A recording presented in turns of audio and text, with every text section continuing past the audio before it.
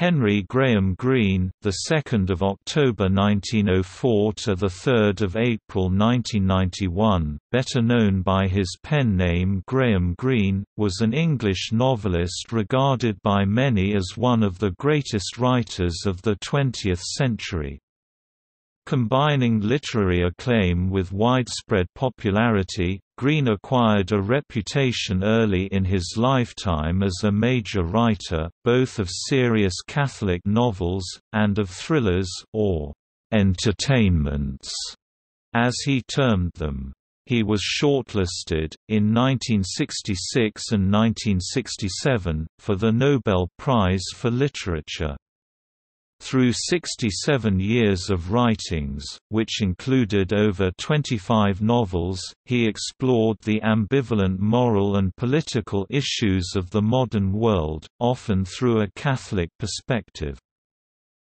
Although Greene objected strongly to being described as a Roman Catholic novelist, rather than as a novelist who happened to be Catholic, Catholic religious themes are at the root of much of his writing, especially the four major Catholic novels, Brighton Rock, The Power and the Glory, The Heart of the Matter, and The End of the Affair, which have been named, "...the gold standard." Of the Catholic novel. Several works, such as The Confidential Agent, The Quiet American, Our Man in Havana, The Human Factor, and his screenplay for The Third Man, also show Greene's avid interest in the workings and intrigues of international politics and espionage. Greene was born in Berkhamsted in Hertfordshire into a large, influential family that included the owners of the Greene King Brewery. He boarded at Berkhamsted School in Hertfordshire, where his father taught and became headmaster. Unhappy at the school, he attempted suicide several times. He attended Balliol College, Oxford, to study history, where, while an undergraduate, he published his first work in 1925—a poorly received volume of poetry, Babbling April. After graduating, Greene worked first as a private tutor and then as a journalist, first on the Nottingham Journal and then as a sub-editor on The Times.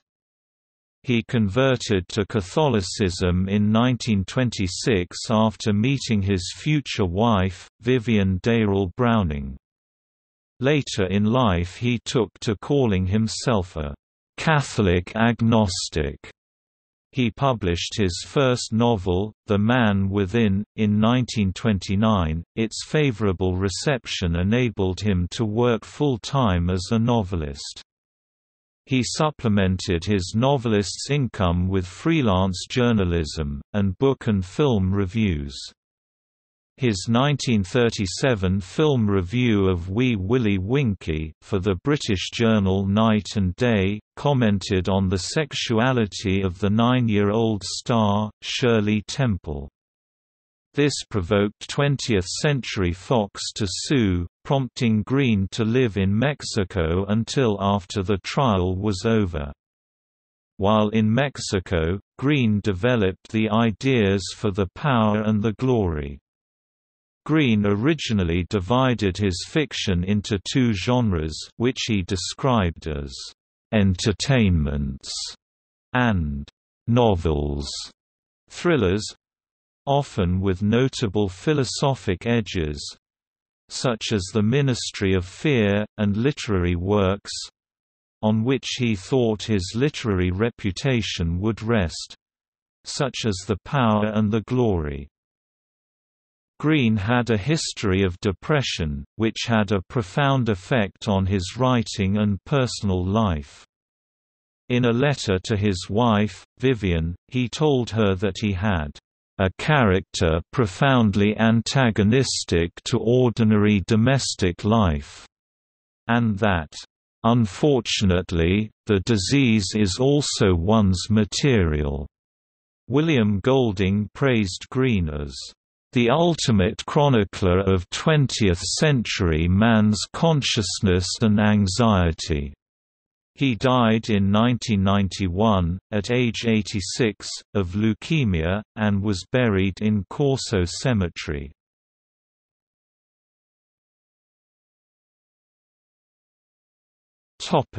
Early years 1904 to 1925 Henry Graham Greene was born in 1904 in St John's House, a boarding house of Berkhamsted School, Hertfordshire, where his father was housemaster.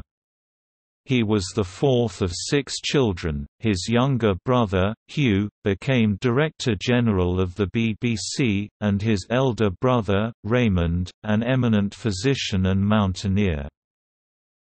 His parents, Charles Henry Greene and Marion Raymond Greene, were first cousins, both members of a large, influential family that included the owners of Greene King Brewery, bankers, and statesmen. His mother was cousin to Robert Louis Stevenson. Charles Greene was second master at Berkhamsted School, where the headmaster was Dr. Thomas Fry, who was married to Charles's cousin. Another cousin was the right-wing pacifist Ben Greene, whose politics led to his internment during World War II. In his childhood, Greene spent his summers with his uncle, Sir William, at Harston House in Cambridgeshire. In Greene's description of his childhood, he describes his learning to read there. It was at Harston I found quite suddenly I could read. The book was Dixon Brett, Detective.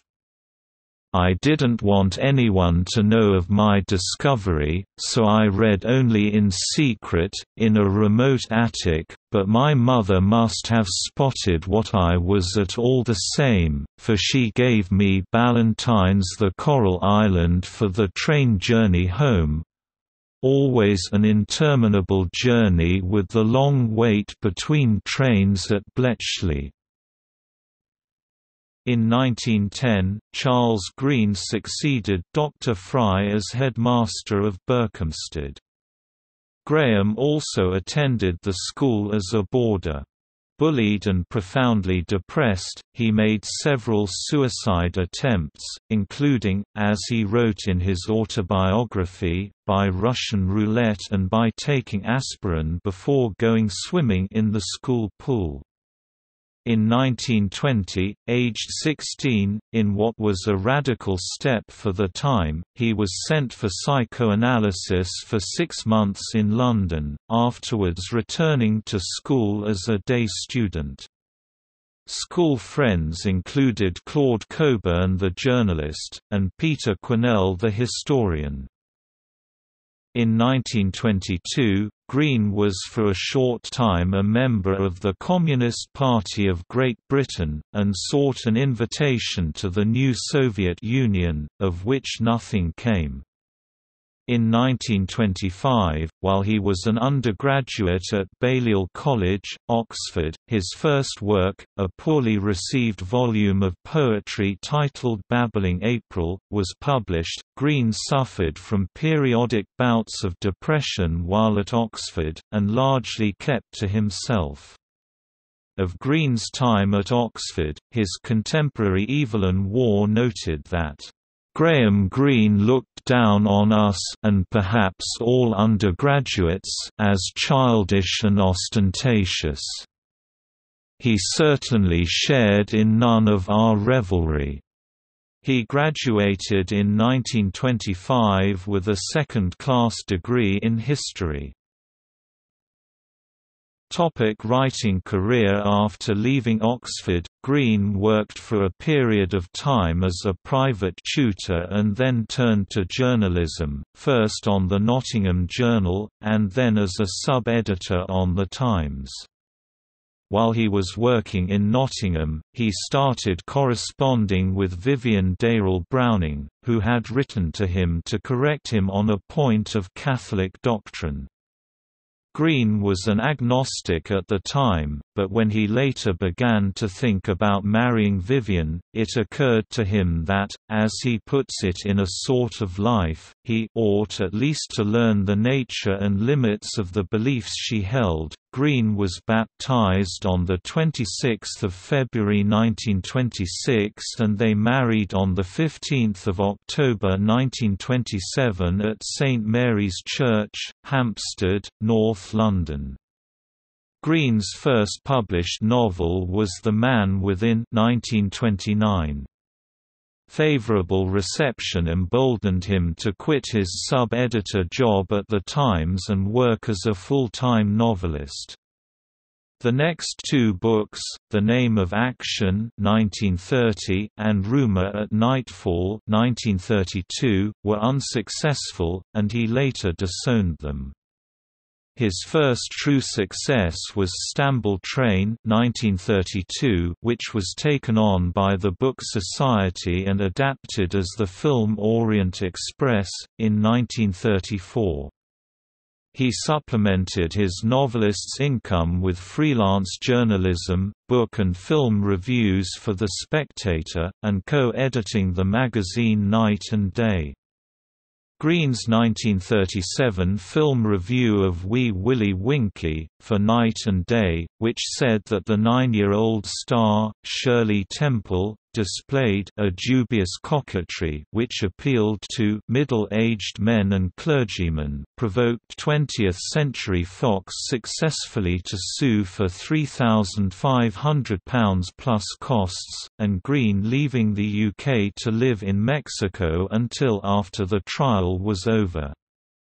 While in Mexico, Greene developed the ideas for the novel often considered his masterpiece, The Power and the Glory. By the 1950s, Greene had become known as one of the finest writers of his generation. As his career lengthened, both Greene and his readers found the distinction between entertainments and novels increasingly problematic. The last book Greene termed an entertainment was Our Man in Havana in 1958. Greene also wrote short stories and plays, which were well received, although he was always first and foremost a novelist.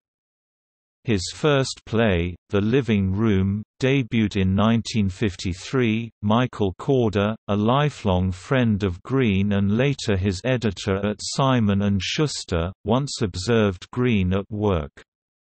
Korda observed that Greene wrote in a small black leather notebook with a black fountain pen and would write approximately 500 words. Once he reached 500 he would put his pen away and be done for the day. Korda described this as Graham's daily penance. Once he finished, he put the notebook away for the rest of the day. His writing influences included Conrad, Ford, Haggard, Stevenson, James, Proust, Buchan, and Péguy.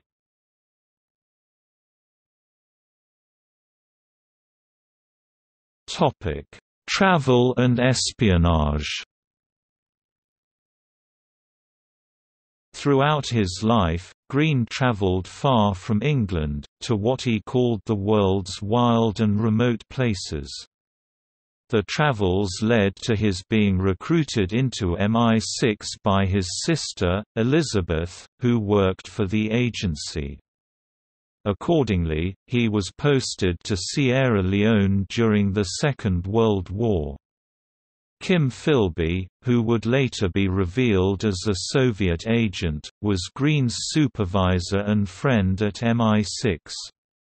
Greene later wrote an introduction to Philby's 1968 memoir, My Silent War. As a novelist Greene wove the characters he met and the places where he lived into the fabric of his novels. Greene first left Europe at 30 years of age in 1935 on a trip to Liberia that produced the travel book Journey Without Maps. His 1938 trip to Mexico to see the effects of the government's campaign of forced anti-Catholic secularization was paid for by the publishing company Longman, thanks to his friendship with Tom Burns. That voyage produced two books, the factual The Lawless Roads published as Another Mexico in the U.S. and the novel The Power and the Glory.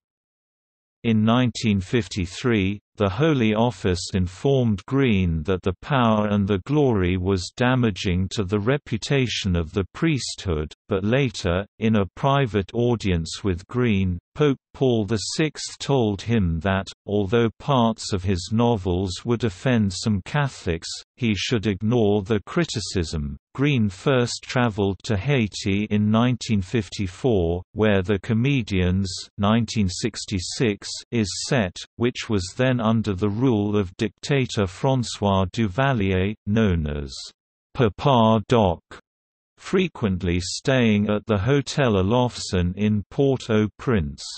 And, in the late 1950s, as inspiration for his novel, A Burnt-Out Case 1960, Greene spent time traveling around Africa visiting a number of leper colonies in the Congo Basin and in what were then the British Cameroons.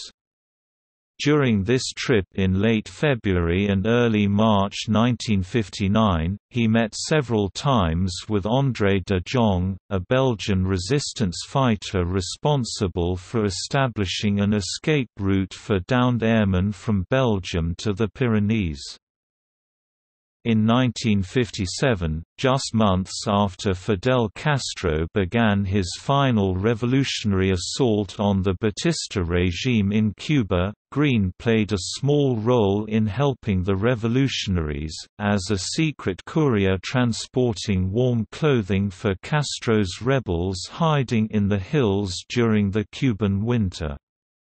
Greene was said to have a fascination with strong leaders, which may have accounted for his interest in Castro, whom he later met.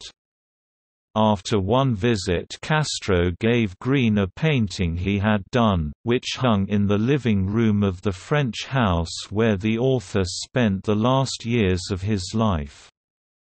Greene did later voice doubts about Castro's Cuba, telling a French interviewer in 1983, "...I admire him for his courage and his efficiency, but I question his authoritarianism." Adding, all successful revolutions, however idealistic, probably betray themselves in time.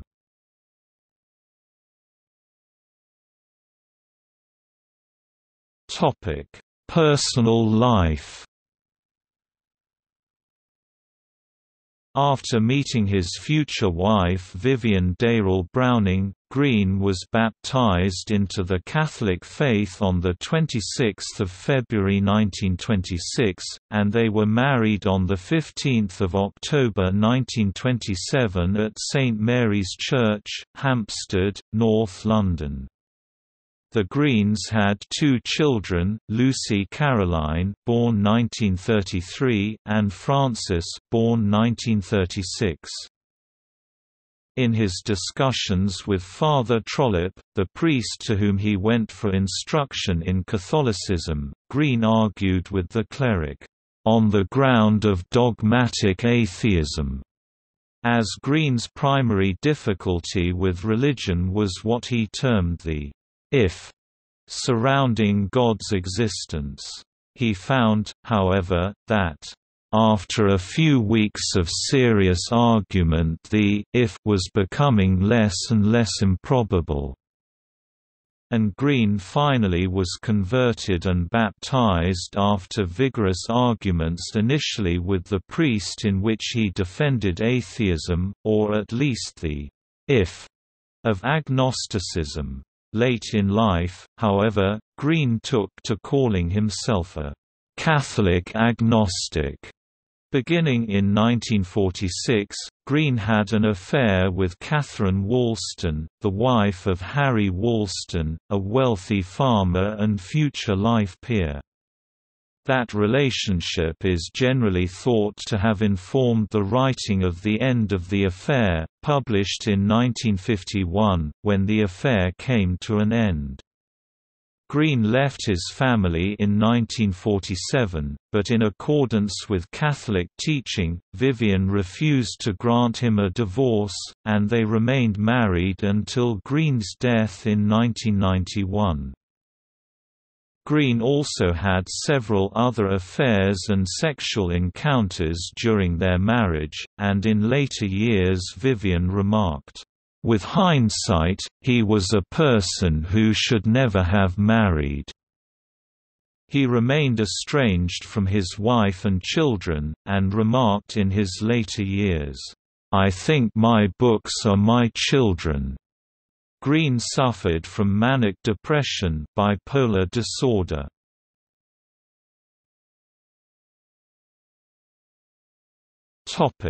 Final years and death After falling victim to a financial swindler, Greene chose to leave Britain in 1966, moving to Antibes, to be close to Yvonne Cloete, whom he had known since 1959, a relationship that endured until his death. In 1973, he had an uncredited cameo appearance as an insurance company representative in François Truffaut's film Day for Night. In 1981, Greene was awarded the Jerusalem Prize, awarded to writers concerned with the freedom of the individual in society. He lived the last years of his life in Vevey, on Lake Geneva in Switzerland, the same town Charlie Chaplin was living in at this time. He visited Chaplin often, and the two were good friends. His book Dr. Fisher of Geneva or the Bomb Party 1980 is based on themes of combined philosophical and geographical influences. He ceased going to Mass and confession in the 1950s, but in his final years began to receive the sacraments again from Father Leopoldo Duran, a Spanish priest, who became a friend. In one of his final works, a pamphlet titled J'accuse, The Dark Side of Nice 1982, Greene wrote of a legal matter that embroiled him and his extended family in Nice, and declared that organized crime flourished in Nice because the city's upper levels of civic government protected judicial and police corruption. The accusation provoked a libel lawsuit that Greene lost, but he was vindicated after his death when, in 1994, the former mayor of Nice, Jacques Médecin, was imprisoned for corruption and associated crimes. In 1984, in celebration of his 80th birthday, the brewery which Greene's great-grandfather founded in 1799 made a special edition of its street. Edmund's Ale for him, with a special label in his honor. Commenting on turning 80, Greene said, "...the big advantage,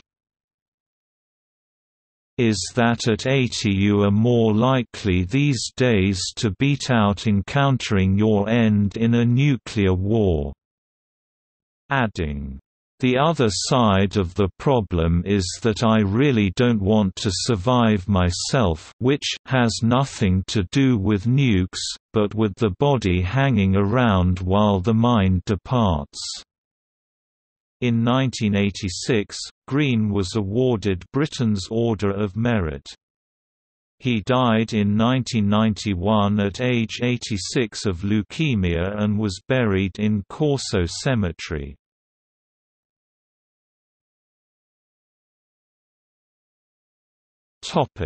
Writing style and themes Greene originally divided his fiction into two genres, thrillers mystery and suspense books, such as The Ministry of Fear, which he described as entertainments, often with notable philosophic edges, and literary works, such as The Power and the Glory, which he described as novels, on which he thought his literary reputation was to be based. As his career lengthened, both Greene and his readers found the distinction between entertainments and novels increasingly problematic. The last book Greene termed an entertainment was Our Man in Havana in 1958.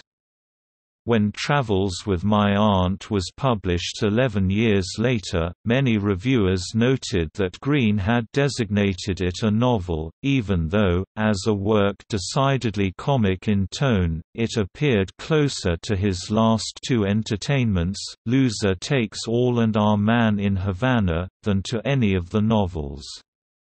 Greene, they speculated, seemed to have dropped the category of entertainment. This was soon confirmed. In the collected edition of Greene's works published in 22 volumes between 1970 and 1982, the distinction between novels and entertainments is no longer maintained. All are novels. Greene was one of the more cinematic of 20th-century writers, most of his novels and many of his plays and short stories have been adapted for film or television. The Internet Movie Database lists 66 titles between 1934 and 2010 based on Greene material. Some novels were filmed more than once, such as Brighton Rock in 1947 and 2011, The End of the Affair in 1955 and 1999, and The Quiet American in 1958 and 2002. The 1936 thriller A Gun for Sale was filmed at least five times under different titles. Greene received an Academy Award nomination for the screenplay for the 1948 Carol Reed film The Fallen Idol, adapted from his own short story The Basement Room. He also wrote several original screenplays. In 1949, after writing the novella as raw material he wrote the screenplay for a classic film noir, The Third Man, also directed by Carol Reed, and featuring Orson Welles. In 1983, The Honorary Consul, published ten years earlier, was released as a film under its original title, starring Michael Caine and Richard Gere. Author and screenwriter Michael Korda contributed a foreword and introduction to this novel in a commemorative edition. In 2009, The Strand magazine began to publish in serial form a newly discovered Greene novel titled The Empty Chair. The manuscript was written in longhand when Greene was 22 and newly converted to Catholicism. Greene's literary style was described by Evelyn Waugh in Commonweal as, "...not a specifically literary style at all. The words are functional, devoid of sensuous attraction, of ancestry, and of independent life." Commenting on the lean prose and its readability, Richard Jones wrote in the Virginia Quarterly Review that, "...nothing deflects Greene from the main business of holding the reader's attention." Greene's novels often have religious themes at their center. In his literary criticism he attacked the modernist writers Virginia Woolf and E. M. Forster for having lost the religious sense which, he argued, resulted in dull, superficial characters, who "...wandered about like cardboard symbols through a world that is paper thin." Only in recovering the religious element, the awareness of the drama of the struggle in the soul that carries the permanent consequence of salvation or damnation, and of the ultimate metaphysical realities of good and evil, sin and divine grace, could the novel recover its dramatic power.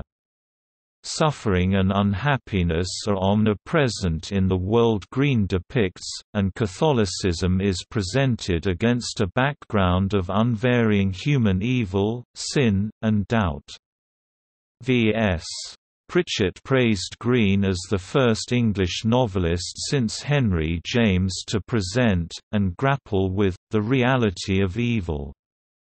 Greene concentrated on portraying the characters' internal lives, their mental, emotional, and spiritual depths. His stories are often set in poor, hot and dusty tropical places such as Mexico, West Africa, Vietnam, Cuba, Haiti, and Argentina, which led to the coining of the expression, "'Greeneland' to describe such settings. The novels often portray the dramatic struggles of the individual soul from a Catholic perspective. Greene was criticized for certain tendencies in an unorthodox direction. In the world, sin is omnipresent to the degree that the vigilant struggle to avoid sinful conduct is doomed to failure, hence not central to holiness. His friend and fellow Catholic Evelyn Waugh attacked that as a revival of the Quietist heresy. This aspect of his work also was criticized by the theologian Hans Urs von Balthasar, as giving sin a mystique. Greene responded that constructing a vision of pure faith and goodness in the novel was beyond his talents. Praise of Greene from an Orthodox Catholic point of view by Edward Short is in Crisis magazine, and a mainstream Catholic critique is presented by Joseph Pearce. Catholicism's prominence decreased in his later writings. According to Ernest Mandel in his Delightful Murder, A Social History of the Crime Story Greene started out as a conservative agent of the British intelligence services, upholding such reactionary causes as the struggle of the Catholic Church against the Mexican Revolution, The Power and the Glory, 1940, and arguing the necessary merciful function of religion in a context of human misery, Brighton Rock, 1938, The Heart of the Matter, 1948 the better he came to know the socio-political realities of the Third World where he was operating, and the more directly he came to be confronted by the rising tide of revolution in those countries, the more his doubts regarding the imperialist cause grew, and the more his novels shifted away from any identification with the latter. The supernatural realities that haunted the earlier work declined and were replaced by a humanistic perspective, a change reflected in his public criticism of Orthodox Catholic teaching.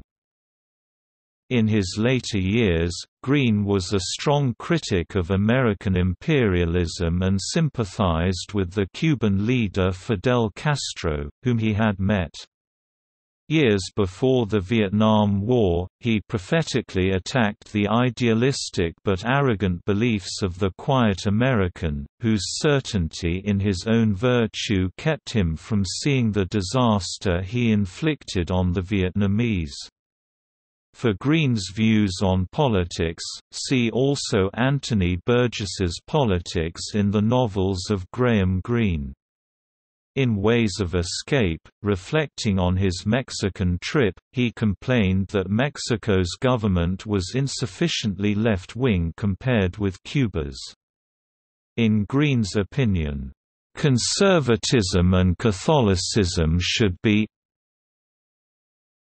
impossible bedfellows." In 1949, when The New Statesman held a contest for parodies of Greene's writing style, he submitted an entry under the name, N. Wilkinson, and won second prize.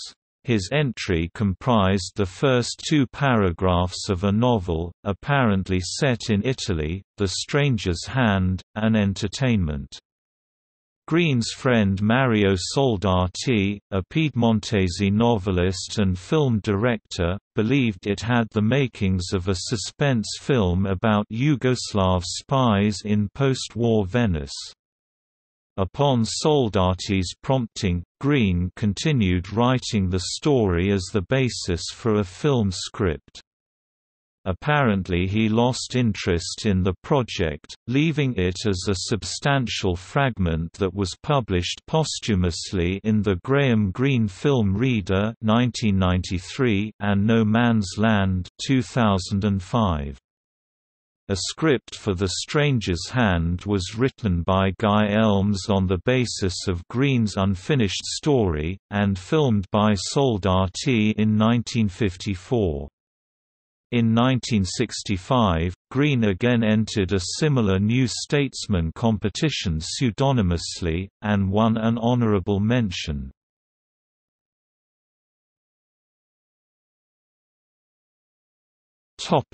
Legacy Greene is regarded as a major 20th-century novelist, and was praised by John Irving, prior to Greene's death, as the most accomplished living novelist in the English language. Novelist Frederick Buechner called Greene's novel The Power and the Glory a tremendous influence. By 1943, Greene had acquired the reputation of being the leading English male novelist of his generation and at the time of his death in 1991 had a reputation as a writer of both deeply serious novels on the theme of Catholicism, and of suspense-filled stories of detection. Acclaimed during his lifetime, he was shortlisted in 1966 for the Nobel Prize for Literature. In 1967, Greene was among the final three choices, according to Nobel records unsealed on the 50th anniversary in 2017. The committee also considered Jorge Luis Borges and Miguel Ángel Asturias, with the latter the chosen winner. Greene collected several literary awards for his novels, including the 1941 Hawthornden Prize for The Power and the Glory and the 1948 James Tait Black Memorial Prize for The Heart of the Matter. As an author, he received the 1968 Shakespeare Prize and the 1981 Jerusalem Prize, a biennial literary award given to writers whose works have dealt with themes of human freedom in society. In 1986, he was awarded Britain's Order of Merit. The Graham Greene International Festival is an annual four-day event of conference papers, informal talks, question and answer sessions, films, dramatized readings, music, creative writing workshops and social events. It is organized by the Graham Greene Birthplace Trust, and takes place in the writer's hometown of Berkhamsted about 35 miles northwest of London, on dates as close as possible to the anniversary of his birth the 2nd of October.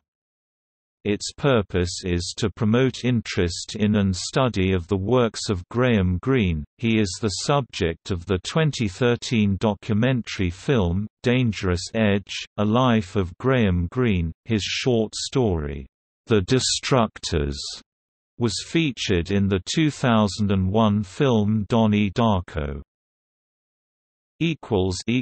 Select works